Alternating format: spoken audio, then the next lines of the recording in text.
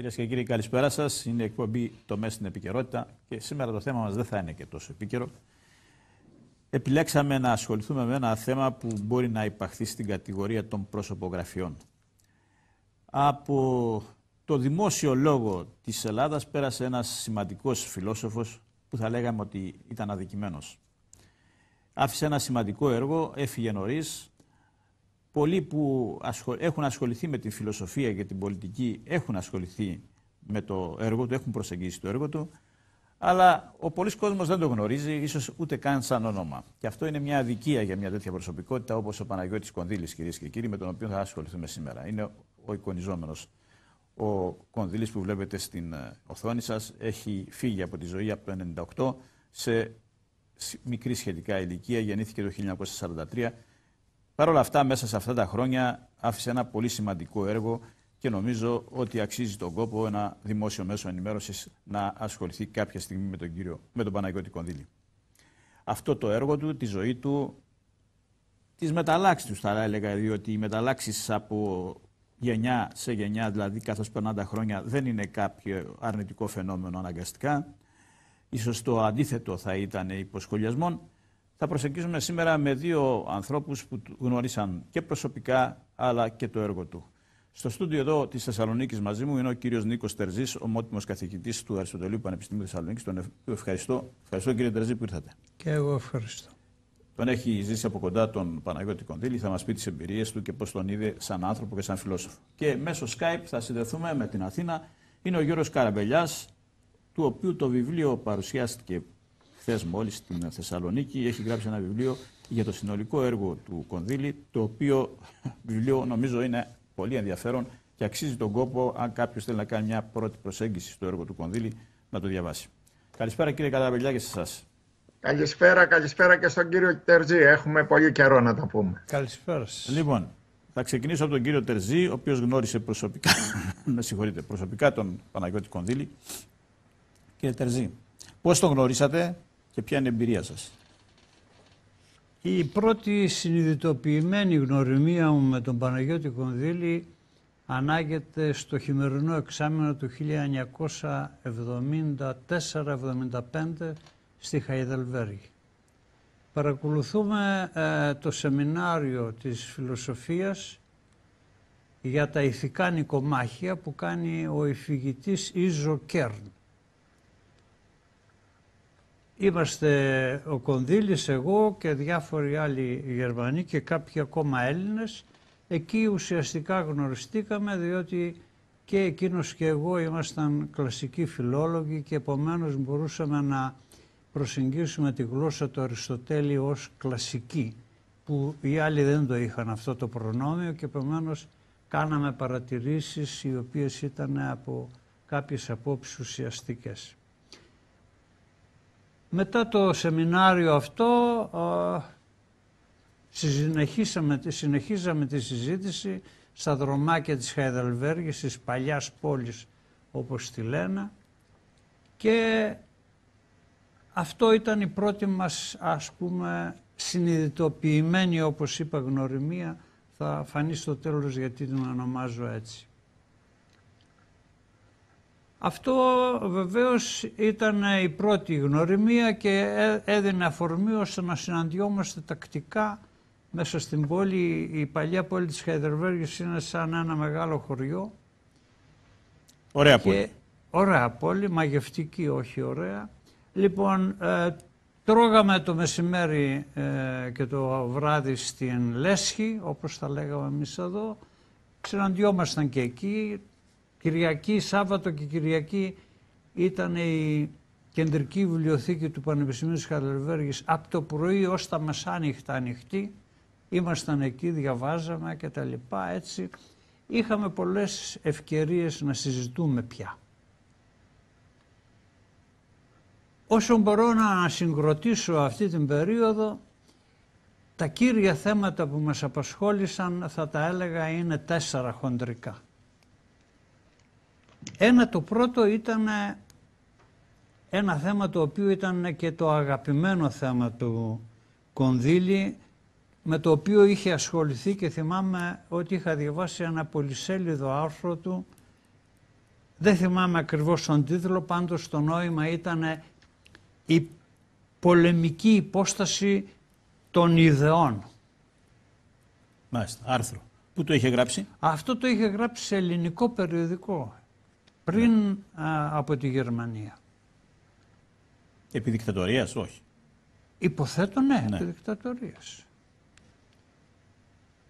Το δεύτερο θέμα ήταν ε, κάτι το οποίο με ενδιέφερε εμένα προσωπικά και η γνώση του Κονδύλη στα θέματα της ιστορίας των ιδεών με βοηθούσε κατά έναν τρόπο σε αυτό. Το θέμα το οποίο με απασχολούσε εμένα και στη διδακτορική μου διατριβή ήταν η συζήτηση ε, των νεοκαντιανών για τον ηθικό σοσιαλισμό. Ηθικό σοσιαλισμό. Ναι. Δηλαδή η συζήτηση ήταν εάν ο σοσιαλισμός είναι αίτημα της ηθικής ή αν, ήταν, ή αν είναι νομοτέλεια. Μάλιστα. Και οι Καντιανοί, οι νεοκαντιανοί φυσικά ήταν υπέρ της, της ότι είναι πρόταγμα της ηθικής ο σοσιαλισμός. Ενώ ο μαρξισμός λέει ότι είναι νομοτέλεια. Άλλο. Εδώ όμως από αυτή τη συζήτηση των νεοκαντιανών βγήκε όλο αυτό που λέμε που το λένε οι μαρξιστές ανα, ε, αναθεωρητισμός, ο ρεβεζιονισμός. Ναι. Εδώ ε, σε αυτή, μέσα από αυτό το κίνημα και τη συζήτηση αυτή βγήκε το έργο του Έντουαρτ Μπέρστάιν «Οι προϋποθέσεις του σοσιαλισμού και το καθήκον της σοσιαλδημοκρατίας» το οποίο οδήγησε σε διάσπαση και της ναι, ναι. διεθνούς και Επιτρέψτε μια ερώτηση γιατί είναι απορία μου αυτή. Αυτοί οι νεοκαντιανοί όταν λένε σοσιαλισμό εννοούν τον μαρξισμό; Εννοούν τον ηθικό σοσιαλισμό. Άλλο σοσιαλισμό. Τον ηθικό σοσιαλισμό. Ναι, τον μαρξισμό τον περιλαμβάνουν, ναι. Όχι. Όχι. Τον αναθεωρούν. Αυτό είναι ναι, ναι. βασικό. Τρίτο θέμα ήταν ε, μια άλλη αιμονή του Κονδύλη Α, στο, θα το έλεγα έτσι με καλό, καλή διάθεση, σχεδόν γκρίνια, ότι η ελληνική πνευματική ζωή είναι λειψή και ανάπηρη. Στερείται βασικά έργα της σκέψης, της νεότερης ιδίως σκέψης και επομένως δεν μπορεί να γίνει πνευματική κίνηση στην Ελλάδα χωρίς να έχουμε βασικά έργα του νεωτέρου πνεύματος που δεν υπήρχαν. Όταν λέτε στερείτε δεν τα παράγει η ελληνική διανόηση δεν ή δεν έχουν εισαχθεί απ' έξω; Δεν έχουν μεταφραστεί. Δεν, δεν είναι Γι' αυτό φαίνεται και ασχολήθηκε πολύ και με τη μετάφραση. Αυτός, αυτός ήταν ο λόγος τον οποίο ασχολήθηκε με αυτό το πράγμα και όπως ξέρετε έκανε μια μεγάλη προσπάθεια σε εκδόσεις γνώση με την φιλοσοφική και πολιτική βιβλιοθήκη ήταν αυτό το μεράκι του, ας το πούμε, να εμπλουτίσει την ελληνική βιβλιογραφία με έργα μεγάλων διανοητών των νεωτέρων χρόνων. Τέταρτο. Η τέταρτη ήταν ε, η επίκαιρη συζήτηση για την Ελλάδα. Μάλιστα. Μόλις είχε τελειώσει η δικτατορία, η κατάσταση, ε, η τρέχουσα, η κατάσταση λίγο αναδρομικά πού και γιατί και πώς φτάσαμε εδώ που φτάσαμε. Αυτό ήταν αφορμή να εντοπίσουμε και οι δύο μας με κάποια έκπληξη ότι ουσιαστικά η πρώτη μας γνωριμία δεν ήταν το 1974 αλλά το 1963. Το 63, Διανοητική δηλαδή ή, ή φυσική. Το, φυσική. Το 1963 έχουμε το τέταρτο προσπουδαστικό συνέδριο. Εγώ ήμουν τότε πρόεδρος των φοιτητών της φιλοσοφικής, ήμουνα αντιπρόσωπος φυσικά στο συνέδριο και εκείνος ήταν αντιπρόσωπος της φιλοσοφικής Αθηνών. Βρεθήκαμε στην ίδια ομάδα εργασίας θέμα γλώσσα και παιδεία και είχαμε μία πολύ καλή συζήτηση και καταλήξαμε βέβαια και σε κοινά συμπαράσματα παρά το ότι εγώ ήμουνα ας το πούμε ε, τοποθέτησης κέντρου και εκείνος ήταν ε, εδώ. Εδώ ήταν. Να σας πω, τότε δηλαδή τα πασπουδαστικά συνέδρια συζητάγαν για τη γλώσσα και την παιδεία, όχι μόνο για την κατάληψη της, oh. του Πανεπιστημίου. Μα είχαμε ομάδες εργασίας. Πρέπει, αν δεν τα έχετε δει, Ε, το τέταρτο Πανσπουδαστικό Συνέδριο ήταν μια εξαιρετική, ε, ένα εξαιρετικό συνέδριο με πολύ καλή και μεγάλη ανταλλαγή απόψεων σε διάφορα θέματα. Μόνον την προκήρυξη του συνεδρίου να διαβάσετε είναι ένα καταπληκτικό κείμενο το οποίο το είχε γράψει τότε ο, ο πώς το λέμε τον νέο το φιλόσοφο τώρα; Τον, ο, ο Ράμφος. το Ράμφο. Ο Ράμφος το είχε γράψει Α, ο Ράμφος. Παρακολουθεί. Ε.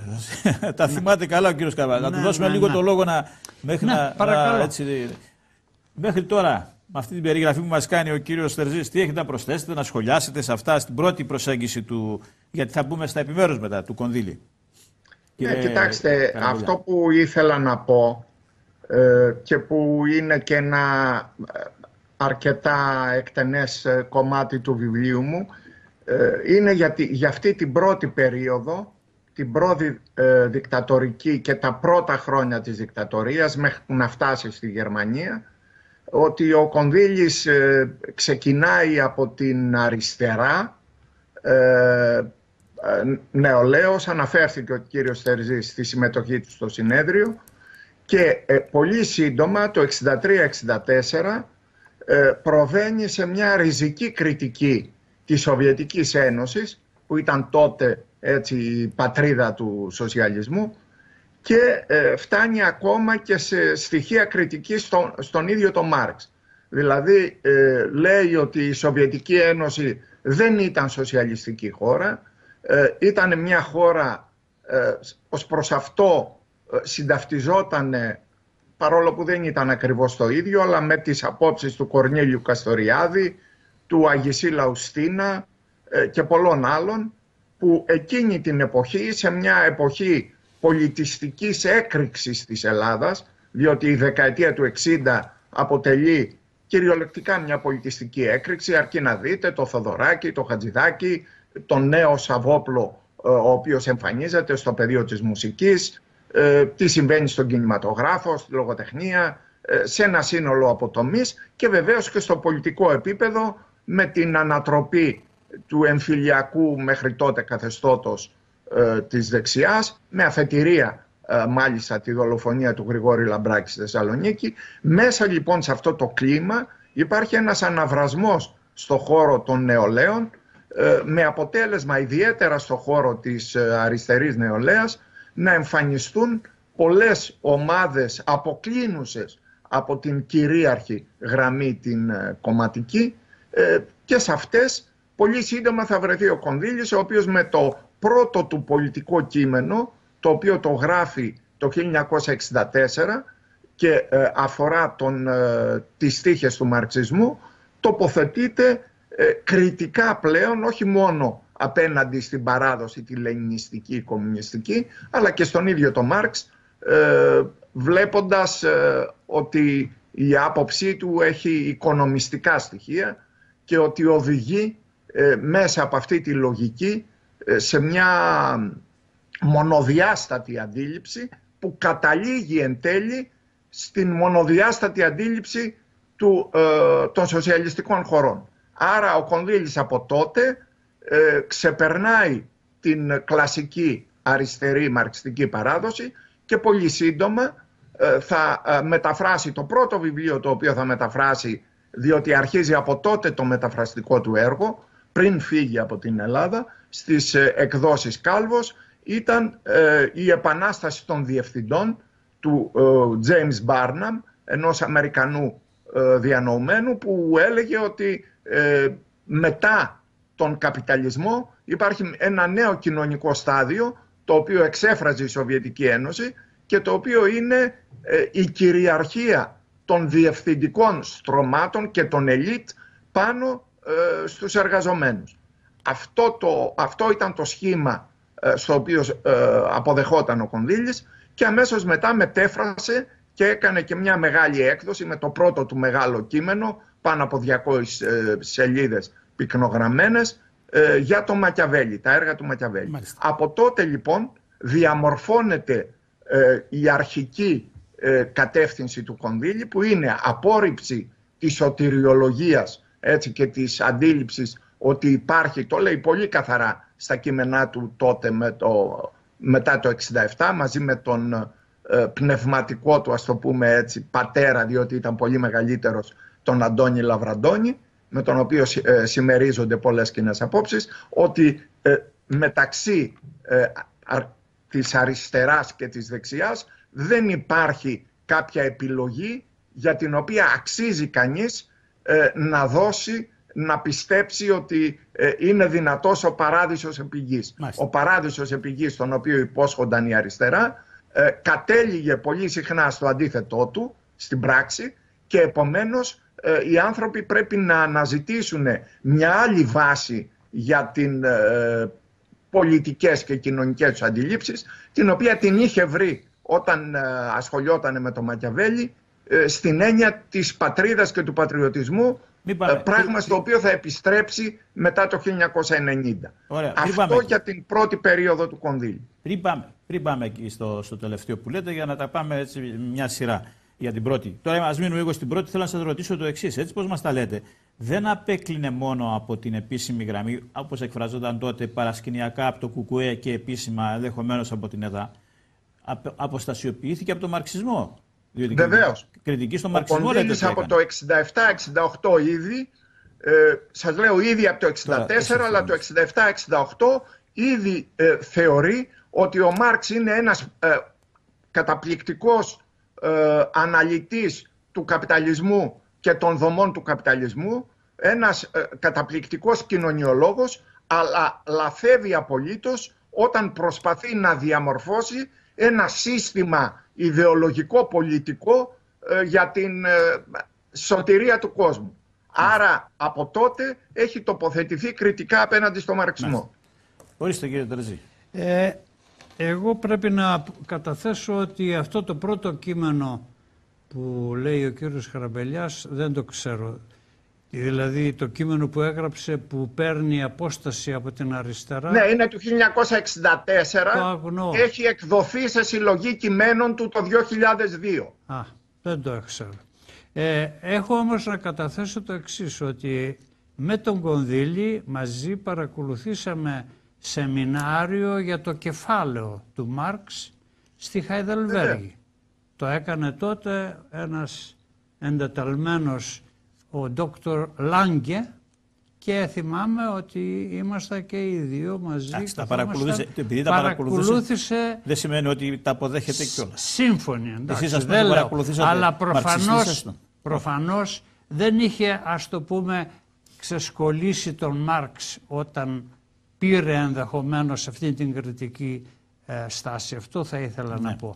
Τώρα... Ήτανε ενδεχομένως σε άλλα θέματα είχε εστιαστεί, και ναι. είχε καταλήξει σε Εγώ αυτά τα συμπεράσματα άκουσα τον κύριο Καταμπεράλια. Ο κύριος Καραμπελιάς. Τον ακούω συχνά και δίνει την εικόνα ότι εκεί τη δεκαετία του 60 ουσιαστικά το στίγμα στην νεολαία και στην πολιτική, έτσι όπως τα λέει ο κύριος Καραμπελιάς, το δίνει η αριστερά. Ενώ εκείνο που ξέρουμε εμείς, κύριε Τερζή, επειδή δεν ήσασταν και εσείς στην Ένωση Κέντρου και στη γενιά του 1-4, το στίγμα τουλάχιστον στην νεολαία, η πλειοψηφία της νεολαίας ήταν νεολαία της Ένωσης Κέντρου, δεν ήτανε; Κοιτάξτε, στη Θεσσαλονίκη ήταν σαφής η πλειοψηφία της νεολαίας του Ενώσεως Κέντρου. Στην Αθήνα αυτό βέβαια δεν συνέβαινε απολύτως. Στην Αθήνα για να πω έτσι και προσωποποιημένα κάποια πράγματα, ε, στη Δέσπα που ήταν αντίστοιχη της ΦΕΑΠΘ ήταν πρόεδρος ο Νίκος ο Κωνσταντόπουλος, ο οποίος ήταν βέβαια κεντρός ένα, ένα, στην ε, ε, ε νεολαία του κέντρου τότε, αργότερα έγινε στην ΕΔΗΝ. Στην ΕΦΕ πάντως που έγινε, συγκροτήθηκε για πρώτη φορά το 1963 μετά το τέταρτο προσπουδαστικό συνέδριο, οι ε, σύνεδροι της ΕΔΑ, οι επηρεαζόμενοι από την ΕΔΑ, είχαν μια ελαφρά πλειοψηφία. Ναι, αλλά στο δημόσιο, στις δημόσιες κινητοποιήσεις αυτή δεν τον τόνο. εξελέγει, να, πω, να τελειώσω, ναι. εξελέγει ε, πρόεδρος ο Γιάννης ο Τζανετάκος πάλι του κέντρου, διότι υπήρχε ε, τότε η επιφύλαξη, δεν έβγαιναν τόσο μπροστά η, της ΕΔΑ. Υπήρχε ακόμα το εμφυλιακό ας το πούμε καθεστώς και επομένως δεν έβγαιναν. Είναι χαρακτηριστικό και το θυμάμαι ότι προτάθη στον Νίκο τον Κωνσταντόπουλο να γίνει πρόεδρος της ΕΦΕ, της πρώτης, αλλά εκείνος είπε χαρακτηριστικά και πάνω στην, στο βήμα δηλαδή, αφού δεν ελέγχω, δεν ελέγχει η παράταξή μου το συνεμβούλιο, εγώ ταμπέλα δεν γίνομαι. Μάλιστα. Κόλλα, πολύ σωστά είπε. Λοιπόν... Ε, εν πάση περιπτώσει, οι κινητοποιήσεις ήταν από κοινού. Εδώ επαναλαμβάνω στη Θεσσαλονίκη σαφώς ήταν ε, η κεντρώη πλειοψηφία η μεγάλη. Στην Αθήνα όμως που έχουμε πολλά πανεπιστήμια και το Μετσόβιο και τα λοιπά έχουν μια διαφορετική παράδοση. Πάντως χαρακτηριστικό είναι η Θεσσαλονίκη, η φιλοσοφική Θεσσαλονίκης ήταν του κέντρου απολύτως, η Αθήνα όμως ήταν της αριστεράς. Ήταν ο Γιαννουλόπουλος ο Γιάννης τότε πρόεδρος. Ναι. Άρα δηλαδή έχει δίκιο και ο κύριος Καραμπελιάς και εσείς έχετε δίκιο που το έτσι ε, ναι, ε, η κατάσταση δεν λοιπόν, είναι. Πάμε τώρα, πάμε τώρα στα, στον Κονδύλη. Κονδύλη τώρα ε, είδαμε την πρώτη του περίοδο.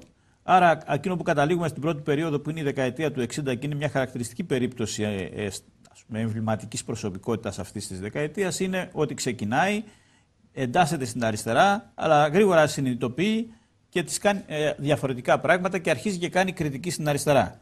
Η δεύτερη περίοδος, έτσι όπως ε, έχω διαβάσει και το βιβλίο και του κ. Καραμπελιά, ο κ. Καραμπελιάς, λοιπόν, τη δεύτερη περίοδο τη δίνει, τον περιγράφει σαν μια, από μια οπτική ότι μπήκε μέσα στους κόλπους μιας αριστεράς η οποία είχε αποδομητικά χαρακτηριστικά.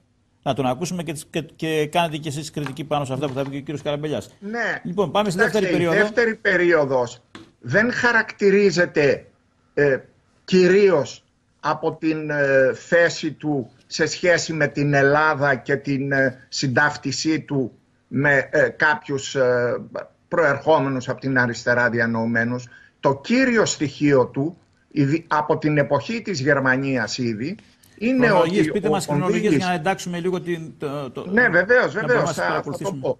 Αποστασιοποιείται, θεωρεί ότι για να μπορέσεις να συγκροτήσεις μια ε, κοινωνική θεωρία και μια φιλοσοφία και μια οντολογία ε, είσαι υποχρεωμένος να αποστασιοποιηθείς από τις ιδεολογίες και από τα στρατόπεδα, να αποστασιοποιηθείς από αυτό που λέμε δέον, έτσι ότι τι πρέπει να γίνει και να ε, κοιτάξεις να αντιμετωπίσεις αποστασιοποιημένα αυτό που ε, αναφέρει ως περιγραφική θεωρία ε, την πραγματικότητα. Δηλαδή να κάνεις μια περιγραφή της πραγματικότητας χωρίς ο ίδιος να εμπλέκεσαι και να είσαι ενεργό στοιχείο. Δηλαδή ο Κονδύλης έχοντας απογοητευτεί από την ε, δυνατότητα ενός επιγείου παραδείσου λέει ότι ε, η στάση μου είναι η στάση ενός κριτικού διανομένου και φιλοσόφου ο οποίος είναι έξω από όλους τους θεσμούς και έξω από όλες τις εμπλοκές σε ιδεολογικά ε, στρατόπεδα και έτσι μπορώ να διατυπώσω ε, μία πρόταση η οποία να είναι σχετικά επαρκής. Αυτό το εκφράζει για πρώτη φορά ε, στο βιβλίο του «Ισχύς και Απόφαση», το οποίο εκδίδεται στα γερμανικά το 1981, το 1984 και αργότερα εκδίδεται και στα ελληνικά σε σχέση με την Ελλάδα, επειδή αναφερθήκατε σε αυτό, εκείνη την περίοδο ακόμα ε, εμένει σε κάποιες παλιές απόψεις ε, της, ε, κάποιων ακραίων πτερίγων της αριστεράς μάλιστα, οι οποίες θεωρούσαν ότι ε, η Ελλάδα στη διάρκεια της κατοχής για παράδειγμα δεν θα έπρεπε κανένας, πράγμα που το έλεγε και ο Καστοριάδης τότε, ε, δεν θα έπρεπε κανείς να συμμετάσχει σε ένα ε, εθνικό απελευθερωτικό κίνημα, διότι η ηγεσία του ήταν ε, σοβιετική και σοβιετόφιλη και άρα αναπόφευκτα θα οδηγούσε σε ένα αρνητικό αποτέλεσμα όπως έγινε με τη Σοβιετική Ένωση και με τις άλλες λαϊκές δημοκρατίες. Γιατί είναι ακραία αυτή, η θέση; λογική έκανε κριτική στην αριστερά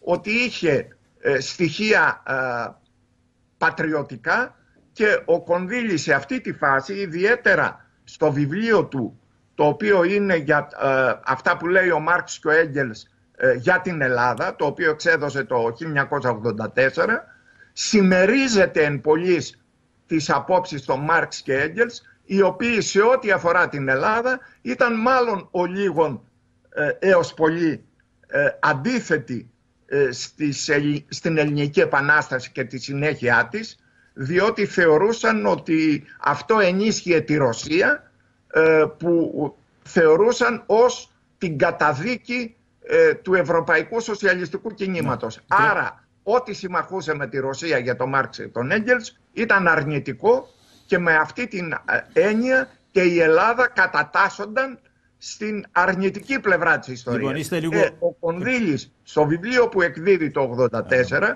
και κάνει και μια εκτενή εισαγωγή, εν μέρη ε, συμμερίζεται αυτές τις απόψεις στο Μαξ Κέγγελς. Γι' αυτό λέω ότι σε αυτή την περίοδο ε, συμμερίζεται κάποιες ε, ναι. τέτοιες απόψεις, τις οποίες όμως μετά το 1990 ε, στην πραγματικότητα απορρίπτει και επιστρέφει σε μια αντίληψη δεμένη με αυτό που θα λέγαμε πατριωτισμό. Αφήστε να δούμε μετά αυτή την περίοδο. Να μείνουμε λίγο σε αυτό το θέμα γιατί έχει ενδιαφέρον σε αυτή την περίοδο.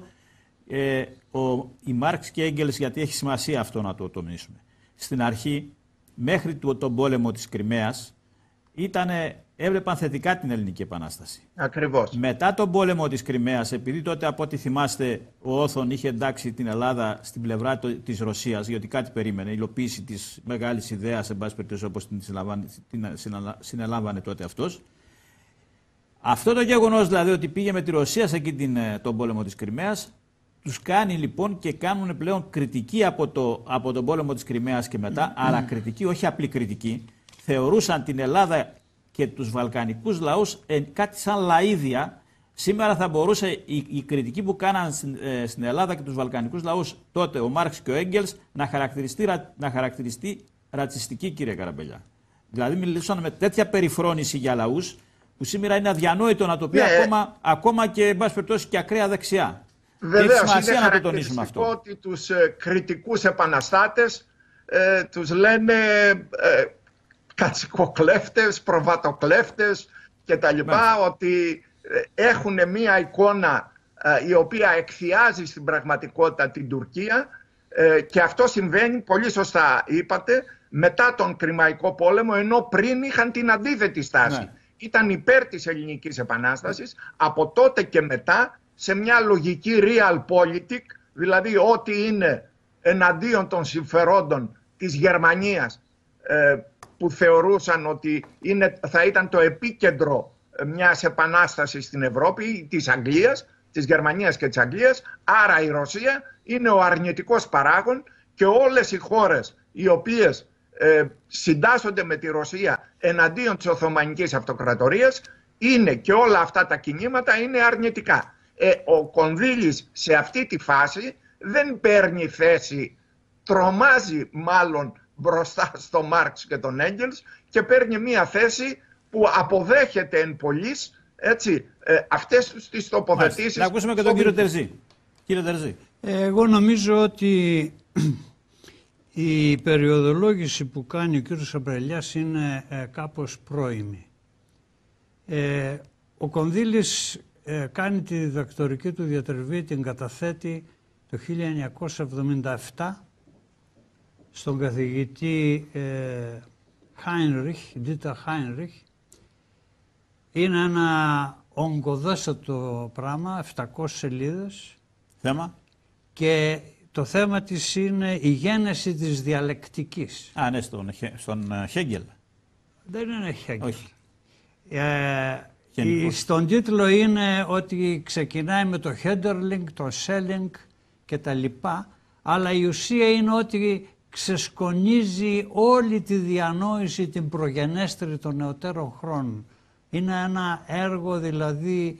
Και τώρα ε, εκδίδεται στα ελληνικά. Μεγάλου μόχθου, δηλαδή ένα 700 σελίδες σας είπα, το οποίο, στο οποίο ο Κονδύλης έχει την δική του οπτική την οποία είπαμε και είναι η πολεμική υπόσταση των ιδεών και μάλιστα αυτό τον φέρνει και σε μία σύγκρουση με τον καθηγητή του, ο οποίος έχει μια διαφορετική αντίληψη ο Χάινριχ.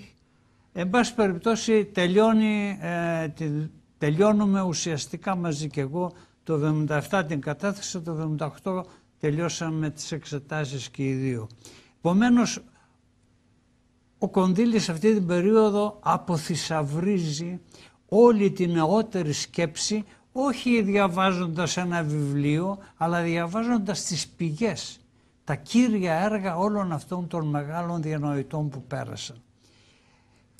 Επαναλαμβάνω ότι ε, μαζί παρακολουθήσαμε και το μάθημα για το κεφάλαιο του Μάρξ, το Dr. Λάγκε.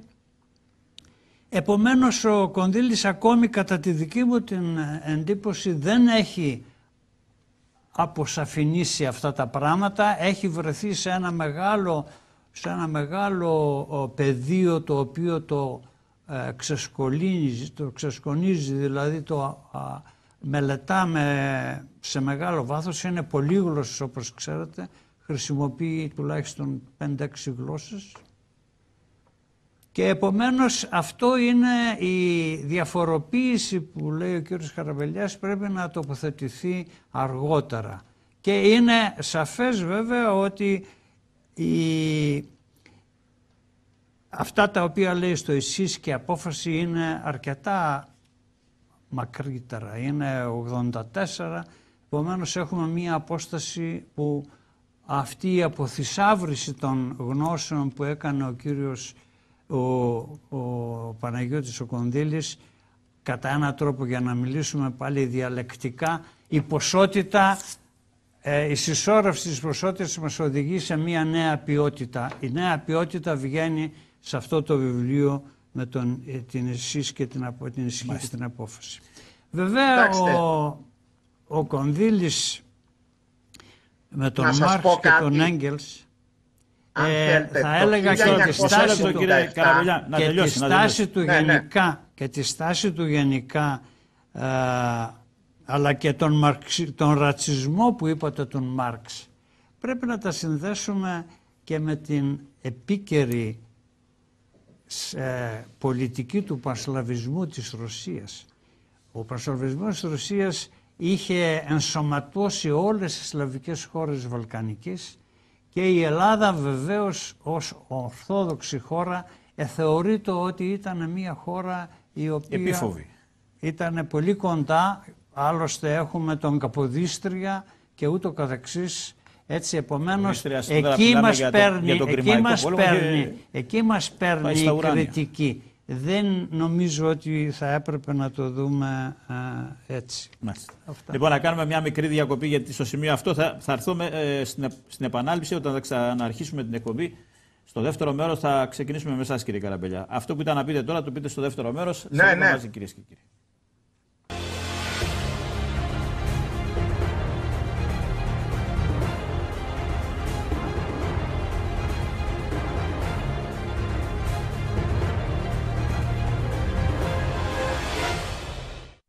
Στο δεύτερο μέρος εκπομπής, κυρίες και κύριοι, το θέμα που συζητάμε είναι ο Παναγιώτης Κονδύλης, με αφορμή και ένα βιβλίο που έχει, βγάλει, έχει εκδώσει ο κύριος Καραμπελιάς. Στο στούντιο εδώ της Θεσσαλονίκης είναι μαζί μου ο κύριος Νίκος Τερζής, ομότιμος καθηγητής του Πανεπιστημίου Θεσσαλονίκης και μέσω Skype είμαστε συνδεδεμένοι με την Αθήνα, από όπου μας μιλάει ο κύριος Καραμπελιάς. Έχετε το λόγο, κύριε Καραμπελιά, πάνω σε αυτά που είπε ο κύριος Τερζής και άλλο ναι, ναι. ό,τι θέλετε να προσθέσετε.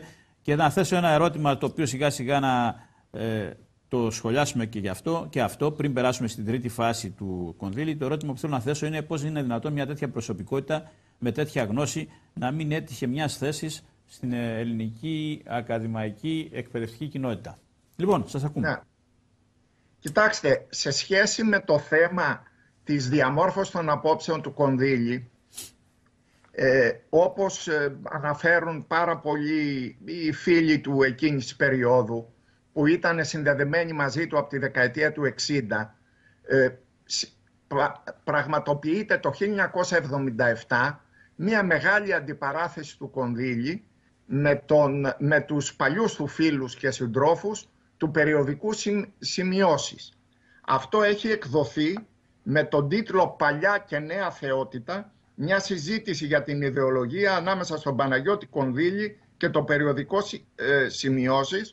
Αυτή η συζήτηση έγινε το 1977 και έγινε μία ρήξη του Κονδύλη με το Γεράσιμο Αγικιαρδόπλο και τους υπόλοιπους ε, οι οποίοι ε, ήταν στο περιοδικό σημειώσεις και με, το, με τους οποίους στο περιοδικό ε, το οποίο έβγαινε πριν από τη δικτατορία, τις μαρτυρίες, ήταν σε μια κοινή ομάδα ο Κονδύλης. Ο Κονδύλης λοιπόν από τότε έχει έρθει και μάλιστα έγινε και με αρκετά οξυμένη αντιπαράθεση σε ρήξη απόλυτη με το μαρξισμό σωτηριολογία αλλά εμένει στο μαρξισμό όπως σας έλεγα ως κοινωνιολογία και ως ε, οικονομική επιστήμη. Τώρα, ε, σε ό,τι αφορά ε, τις θέσεις του για το μαρξισμό, ε, αυτά τα έχει διατυπώσει. Το πρώτο του κείμενο είναι οι επαναστατικές ιδεολογίες και ο μαρξισμός και έχει εκδοθεί στο βιβλίο του, αξίζει κανείς να το δει, γιατί έχουν συγκεντρωθεί τα κείμενά του, «Μελαγχολία και πολεμική», εκδόηση θεμέλιο 2002. Εκεί λοιπόν σας διαβάζω δύο φρασούλες από την αρχική του ε, τοποθέτηση σε σχέση με τον Μάρξ.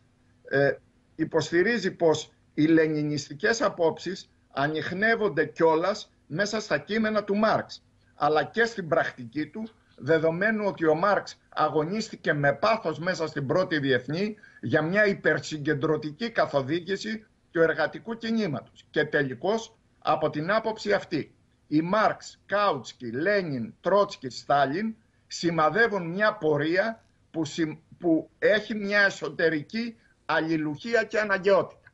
Θέλω να πω δηλαδή ότι από το 1964 πια έχει λήξει σε ό,τι αφορά την πολιτική του τοποθέτηση απέναντι στο μαρξισμό. Εν τούτης, ε, δέχεται πάρα πολλά πράγματα και όπως αναφέρει και ο κύριος Τερζής μελετούσε πάρα πολύ και το κεφάλαιο και τα κείμενα του Μάρξ δεν πάβει να θεωρεί ε, εξάλλου και αυτό είναι και μια δικιά μου αν θέλετε τοποθέτηση που επίσης ε, έχω απορρίψει ε, τον μαρξισμό ως ιδεολογία αλλά από την άλλη πλευρά δεν πάω να θεωρώ ότι ο Μάρξ είναι ένας από τους σημαντικότερους ε, διανοητές και ιδιαίτερα σε ό,τι αφορά την ανάλυση του καπιταλισμού είναι προφανές προφανώς ο σημαντικότερος. Αυτό δεν αναιρεί το γεγονός ότι ο Κονδύλης έχει καταλήξει στις απόψεις του της, ε, θα τις λέγαμε του ριζικού σκεπτικισμού, έτσι, ε, πολλοί τον χαρακτήρισαν σκεπτικό φιλόσοφο, ε, έχει καταλήξει ε, πολύ νωρίς από τη δεκαετία του 70, το έχει εκφράσει και σε επιστολές του και τα κείμενα, παραθέτω μερικά στο βιβλίο μου, και ε, αυτό εκφράζεται φιλοσοφικά ε, με το έργο του αυτό το ισχύς και απόφαση. Τώρα, ε, σε σχέση με το ερώτημα που βάλατε, θα πρέπει να ξέρετε ότι ο Κονδύλης μία φορά δοκίμασε να εκλεγεί στο Πανεπιστήμιο των Αθηνών, στην έδρα της φιλοσοφίας. Και υπέβαλε ε, μαζί με τον Στέλιο Ράμφο κατά τύχη είχαν υποβάλει και οι, οι, δύο υποψηφιότητα για την έδρα της ε, Φιλοσοφίας Σχολή Αθηνών, ε, στη Φιλοσοφική Σχολή Αθηνών. Βεβαίως απερίφθησαν και οι δύο μετεπένων και έκτοτε ο Κονδύλης παρόλο που ε, στη συνέχεια του προσφέρθηκαν ε, κάποιες ε, έδρες σε πανεπιστήμιο αρνήθηκε να μπει στο πανεπιστήμιο ε, θεωρώντας και ε, το ίδιο εξάλλου και στη Γερμανία δεν πήρε έδρα καθηγητική και στη Γερμανία επίσης ε, ακολουθώντας μία στάση ενός ε, διανοουμένου που λέει για να διατηρήσω τη δυνατότητα να βλέπω τα πράγματα ε, όπως είναι αρνούμε τη συμμετοχή μου πλέον σε οποιοδήποτε θεσμό διότι κυριαρχείται από μετριότητες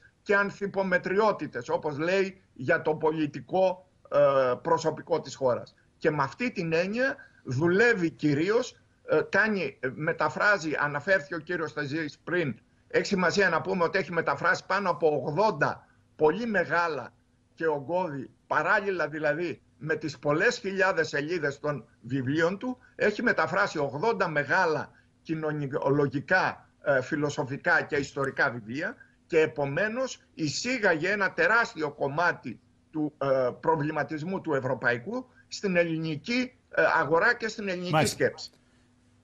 Για το Πανεπιστήμιο και την υποψηφιότητά του, επειδή διατελέστατε και καθηγητής mm. εσείς, φαντάζομαι ναι. ήσασταν κοντά του, θα τα ναι, ναι. έχετε πληροφορηθεί αυτά. Ναι, ναι. Και ό,τι άλλο θέλετε να σχολιάσετε με βάση από αυτά που είπε ο Να γυρίσω σε ένα πράγμα.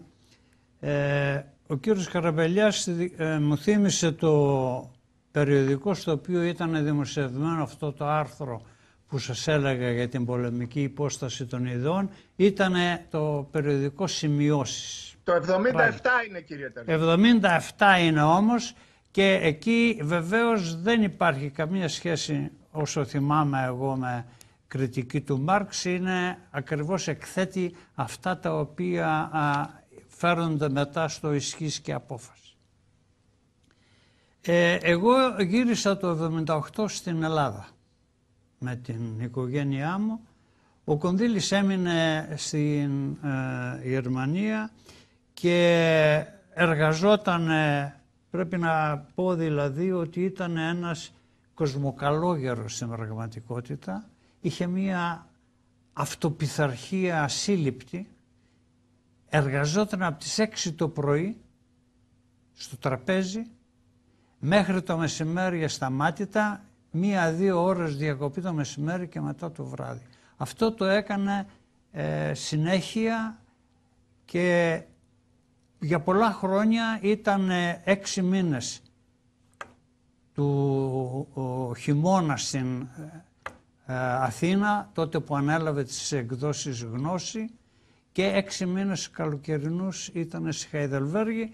Εγώ πήγαινα κάθε καλοκαίρι τις θερινές μου τις διακοπές του Πανεπιστημίου, τις περνούσα στη Χαϊδελβέργη και στις βιβλιοθήκες και ε, βρισκόμασταν.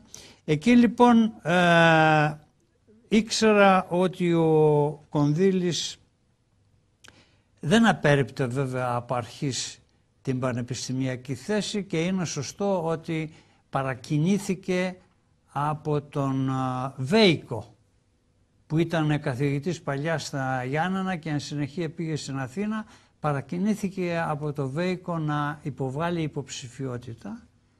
Από ό,τι διηγεί ο Κονδύλης είχε πολύ καλή υποδοχή από τους διαφόρους εκλέκτορες του Πανεπιστημίου Αθηνών τους οποίους επισκέφθηκε αλλά στο τέλος ήταν αρνητική η απόφαση η απόφαση της σχολής. Και αυτό βέβαια ήταν ένα τραύμα, θα μπορούσα να το χαρακτηρίσω για τον Κονδύλη.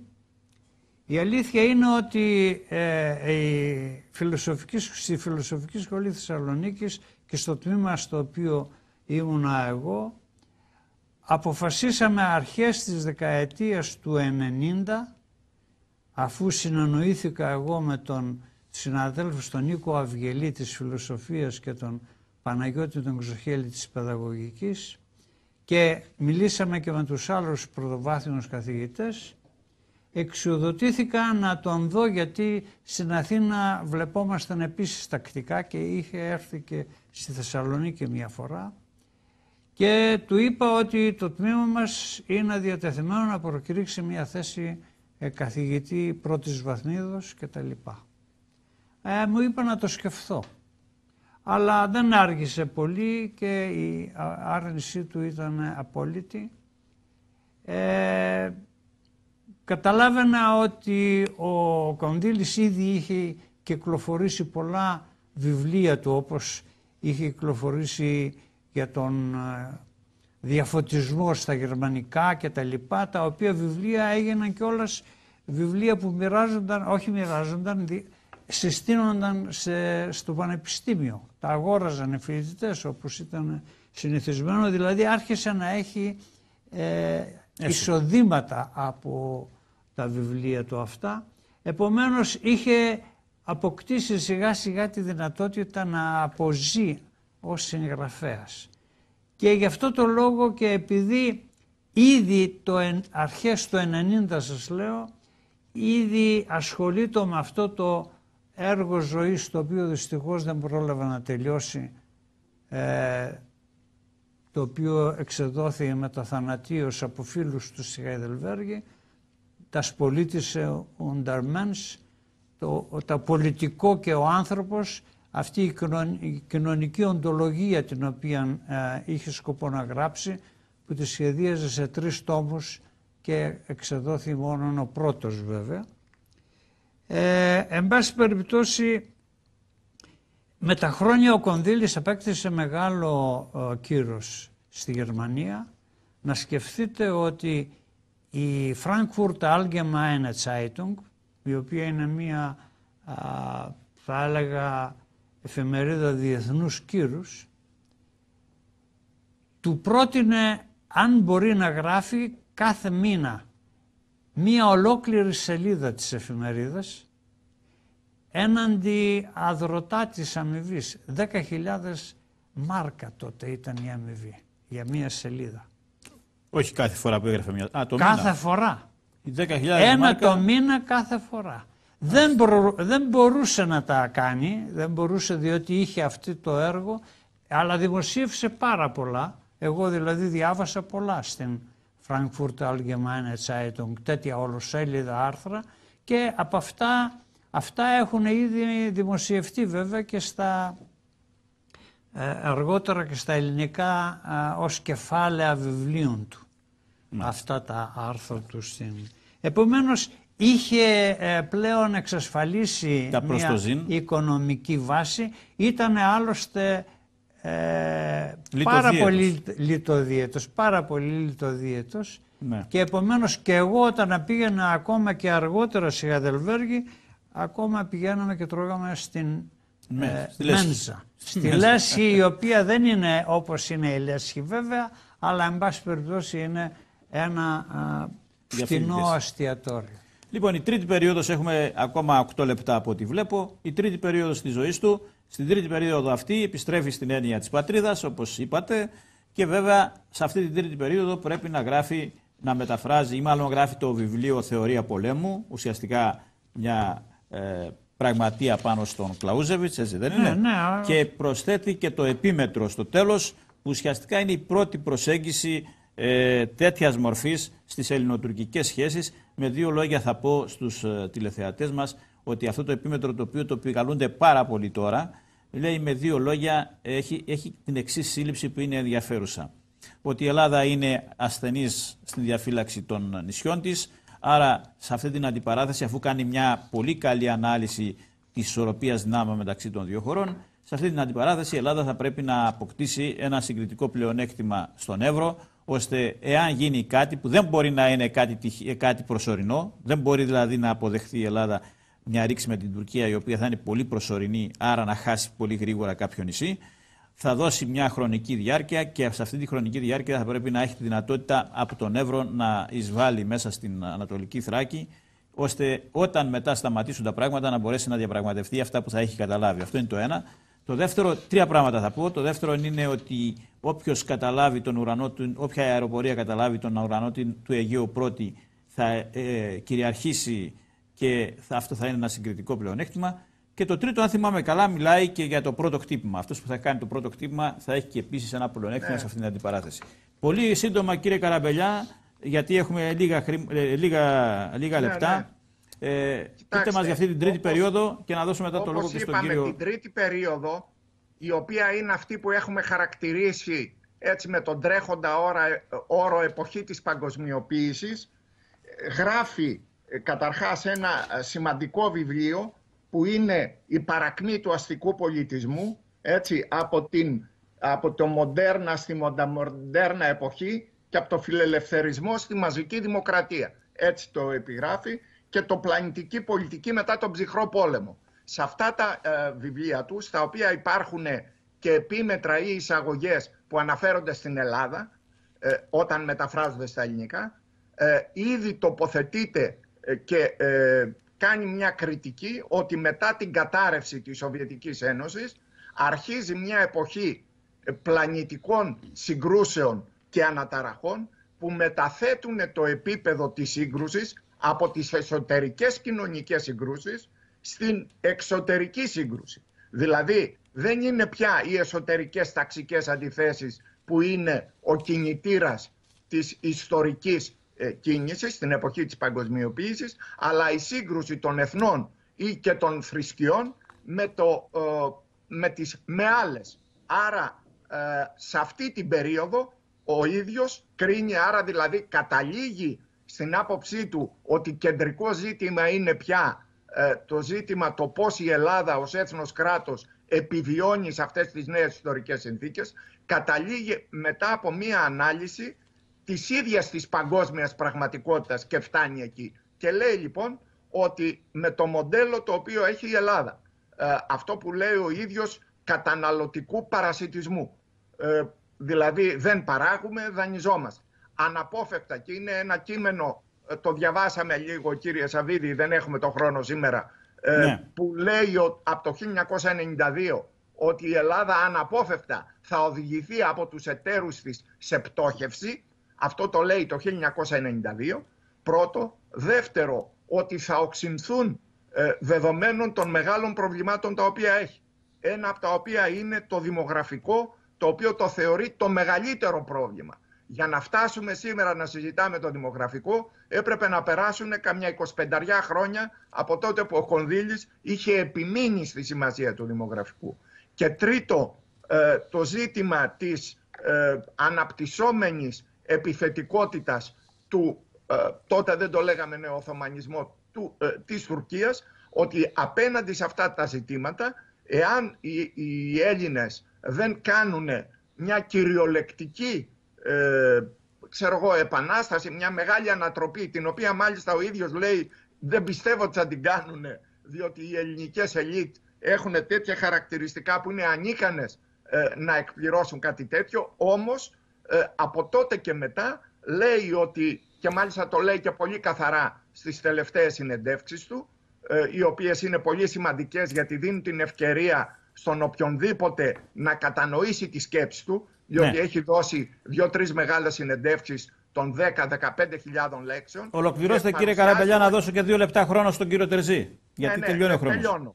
Ε, επομένως έρχεται σε αντιπαράθεση τότε και με πολλούς από τους παλιούς του φίλους, ε, τους οποίους ε, κατηγορεί ότι εγκατέλειψαν την παλιά, ε, τον παλιό διεθνισμό και την υποταγή στα κελεύσματα της Σοβιετικής Ένωσης για να αποδεχτούν τα κελεύσματα της παγκοσμιοποίησης και λέει μάλιστα ότι έχετε και πολύ συγκεκριμένα υλικά κίνητρα για να προσχωρήσετε σε αυτή την ιδεολογία κύριοι οι οποίοι παριστάνετε τους αντιεθνικιστές και έρχεστε να πείτε ότι αυτό το, ε, είναι το ίδιο πράγμα λέει σε μία φράση του ε, σαν να περνούν ε, τα σύνορα εκατο, εκατομμύρια τουρίστες ή οι στρατιώτες Δεν είναι το ίδιο πράγμα να περνάνε τα σύνορα τουρίστες ή τα στρατεύματα μιας χώρας. Έτσι το λέει. Λοιπόν, ναι. Ευχαριστώ πολύ κύριε Καραπελιά. Κύριε Τερζή, έχουμε δύο, δύο λεπτά. Προσπαθήστε ναι. να τα βάλετε. Πάντων, θα ήθελα να πω δύο λόγια για την πλανητική πολιτική, η οποία ήταν η τελευταία του και μία από τις τελευταίες του έγνοιες, ότι ακόμα και στη Γερμανία ήταν από τους λίγους που καταπιάνονταν με το θέμα αυτό και δημοσίευε και στην Frankfurt Allgemeine. Το δεύτερο που ήθελα να πω είναι το εξής. Εγώ δεν θα έλεγα ότι α, ο Κονδύλης έγινε πατριώτης κάποια στιγμή. Ήταν πάντα. Ε, την τελευταία φάση. Θα έλεγα, εν πάση περιπτώσει, θα ήθελα να, να διευκρινίσω το εξής. Ο Κονδύλης πράγματι σε κάποια βιβλία του βάζει ένα παράρτημα στην ελληνική έκδοση, αλλά ο Κονδύλης είναι ένας διανοητής ο οποίος για μένα το είπατε κι εσείς και νομίζω, το λέει και ο κύριος Καρμπελιάς, ο οποίος ε, διεκδικεί για τον εαυτό του ότι είναι παρατηρητής του κόσμου ο οποίος βλέπει τα πράγματα ομά. Αυτό στην φιλοσοφική ε, γλώσσα είναι γνωστό από την φαινομενολογία του Χούρσελ και μετά ως φαινομενολογική εποχή η οποία λέει ότι βλέπω τα ίδια τα πράγματα βάζω τον εαυτό μου και την εγκοσμιότητά μου σε παρένθεση και επομένως η συνείδησή μου μιλάει απευθείας με τα πράγματα και καταγράφω. Αυτή είναι η περιγραφική, ας το πούμε, ναι. ε, επίδοση του, ναι. κονδύλι. Εκεί φυσικά αποτυπώνει χαρακτηριστικά της ελληνικής κοινωνίας θα έλεγα οι αξιολογήσεις είναι το αναγνώστη. Ο ίδιος δεν προβαίνει, ας το πούμε, σε άμεσες αξιολογήσεις. Κοιτάξτε κύριε Τερζή, και... να σας δεν πω κάτι. Δεν έχουμε άλλο χρόνο. δεν έχουμε άλλο χρόνο. Του κείμενο. Κύριε Καραμπελιά, δεν έχουμε ναι, άλλο αν χρόνο. μπορώ να πω μια φράση του Κονδύλη. Φράση, φράση, φράση, όχι πρόταση. Ε, προσπάθησα να χαράξω ένα ψύχρεμο τρίτο δρόμο για τη σύλληψη μιας εθνικής στρατηγικής πέρα από τις δύο ιδεολογικές θέσεις που κυριαρχούν σήμερα στην Ελλάδα. Ενώ αφενός ελληνοκεντρικές εξάρσεις και αφετέρου στην αντίπερα όχθη την πεποίθηση των διάφορων ευρωπαϊστών, εξυγχρονιστών και ορθολογιστών ότι η πολιτισμένη Δύση με την παγκοσμιοποίηση της οικονομίας και τα ανθρώπινα δικαιώματα θα πρωτοστατήσεις σε ένα ανθρώπινο λοιπόν, και ειρηνικό 21ο ε, αιώνα. Δεν διαφωνούμε σε αυτά. Δεν διαφωνούμε σε αυτά, κύριε Καραμπελιά. Εν πάση περιπτώσει, έχει, έχει τελειώσει ο χρόνος μας. Ε, και νομίζω μετά αυτόν τον άνθρωπο λοιπόν το χάσαμε από ένα ιατρικό λάθος. Αυτό είναι τρομακτικό για την ιατρική επιστήμη. Και, για, ναι, και στερήθηκε μια τέτοια. Βέβαια, ως ιατρικό λάθος αφορά οποιοδήποτε άνθρωπο. Αλλά έτσι λοιπόν με ένα τέτοιο ιατρικό λάθος στερήθηκε λοιπόν η χώρα από ένα, από ένα τέτοιο διανοητή. Κύριε Καραμπελιά, κύριε Τερζή, ευχαριστώ πολύ που ήσασταν σήμερα μαζί μας. Νομίζω περιγράψαμε καλά, αρκετά καλά μια προσωπικότητα. Ήταν ένα χρέος που οφείλαμε προς τον Παναγιώτη Κονδύλη. Κυρίες και κύριοι, ευχαριστώ και εσάς που μείνατε και σήμερα μαζί μας. Να είστε καλά. Καληνύχτα σας.